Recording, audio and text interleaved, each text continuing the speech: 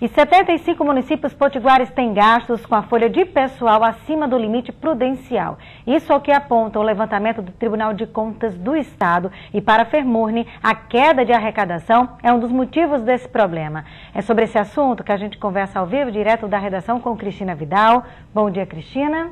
Bom dia, Mariana. Bom dia, Jane e todos que assistem o Encontro com a Notícia. Mariana, de acordo com a Lei de Responsabilidade Fiscal, os municípios podem comprometer até 54% da receita corrente líquida em gasto com folha de pessoal. Um levantamento feito pelo TCE aqui no estado constatou que 75 municípios já se encontram acima desse limite. A Prefeitura da cidade de Pilões, por exemplo, já comprometeu 88% da receita com o pagamento dos funcionários públicos. Cidades maiores como Natal, Mossoró, Caicó e Parnamirim também estão na lista. Natal chegou a 54,9% e Mossoró a 60%.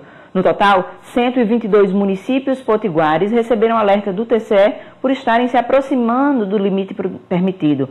Doze prefeituras não publicaram um relatório de gestão fiscal, que deve ser remetido ao Tribunal de Contas. Nesse caso, vão ser abertos processos individuais para identificar a responsabilização pelo não envio.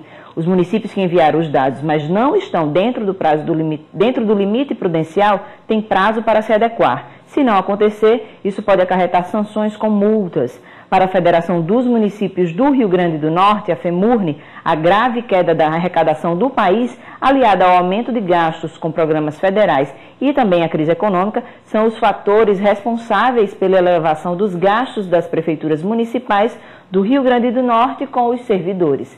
Cristina Vidal, da redação, para o encontro com a notícia. Obrigada, Cristina. Jânio, acho que esse levantamento do Tribunal de Contas só veio realmente para apresentar o que a gente vê de fato no dia a dia, a dificuldade de pagamento das prefeituras aos servidores. Né? É, uh, os prefeitos, Mariana, muitos deles estão nos primeiros sete meses de uma administração em que encontram dificuldade de iniciar o projeto que foi apresentado na campanha eleitoral para os eleitores. E ainda ficam alguns botando culpa nos antecessores, que não conseguiram ainda arrumar a casa. Outros foram reeleitos, como o prefeito da capital e dezenas de outros no interior. E esses estão encontrando mais dificuldade ainda, porque na campanha eles anunciaram que iam fazer no segundo mandato, que é esse agora, muito mais do que tinham feito no primeiro. E todos eles, sem exceção, estão encontrando dificuldade em dar continuidade aos projetos que estavam executando na, no período anterior. Então é uma situação extremamente difícil. A gente vê como você muito bem observou, Mariana, todos sabem por que isso aconteceu. Todos sabem por que isso está acontecendo. O TSE sabe, diz, eles sabem, tentam sair, apresentam uma série de problemas, mas e a saída? E a solução? Qual é?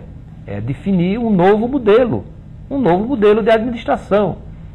É ver o perfil do município, a quantidade é, de habitantes, quantas secretarias ele pode comportar, porque às vezes a gente vê um município muito pequeno que não precisa de uma quantidade tão grande de secretarias, mas fica criando secretarias e secretarias que praticamente não têm função, além de não ser remunerar aquelas pessoas que estão naquela secretaria. Daí a chegar a essa situação mais do que limite, mais do que extrema, de prefeituras terem que utilizar mais de dois terços dos recursos para pagar pessoal. Parece que tem um com 80%. Isso foge a qualquer racionalidade econômica. Isso foge a qualquer racionalidade administrativa. Algo tem que ser feito e pode, para não ficar aqui só na observação, na análise sem fundamento, os prefeitos se encontrarem e começarem a definir esse perfil. Na Europa, por exemplo, prefeituras pequenas que não conseguem ter recursos próprios, próximas umas das outras, estão se juntando e fazendo uma espécie de consórcio. Né? A gente vê aí, é, é isso é possível dividindo custos em determinados serviços, que esses custos podem ser divididos. Uma concentra mais na educação e atende aquelas do consórcio, outra concentra mais na saúde e atende aquelas do consórcio, outra mais na segurança, um contrato de limpeza comum, com um aterro comum. Tudo isso pode ser uma alternativa, não é para sair dessa crise agora, não. É para não ficarem passíveis de sempre ficar entrando em crise.